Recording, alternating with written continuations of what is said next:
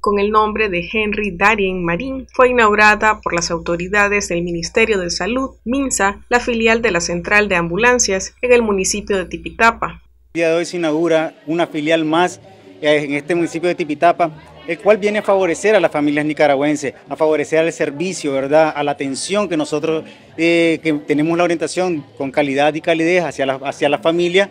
Ahora, Tipitapa cuenta con una filial más 24 horas, los 7 días de la semana, simplemente marcando los tres dígitos, que es el 102. Eh, ahora podemos contar con estas ambulancias, ¿verdad?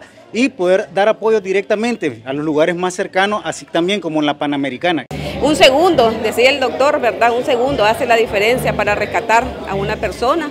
Entonces, esta vez vamos a, poder este, dar ese servicio, ¿verdad?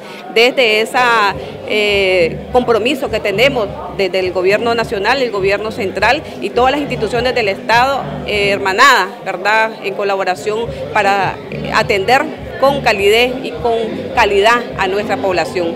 Así que es un millón ochenta y dos mil Córdoba, es la inversión que hizo nuestra alcaldía municipal en, en este centro eh, el 5% en salud está invertido en esta central de ambulancias, con más hospitales, centros de salud, un hospital primario que tenemos en Tipitapa, la Casa de Enfermedades Especiales, Casa Materna y hoy inauguramos este nuevo proyecto, un gran proyecto de desarrollo y de atención a nuestra población. ¿Cuántos habitantes? Nosotros tenemos más de 140 barrios y comunidades en nuestro municipio, son más de 200 mil habitantes lo que tenemos en nuestro, en nuestro municipio pero además no solamente verdad esta central de ambulancia va a atender a los habitantes de aquí, sino todos los transeúntes que pasen por esas carreteras.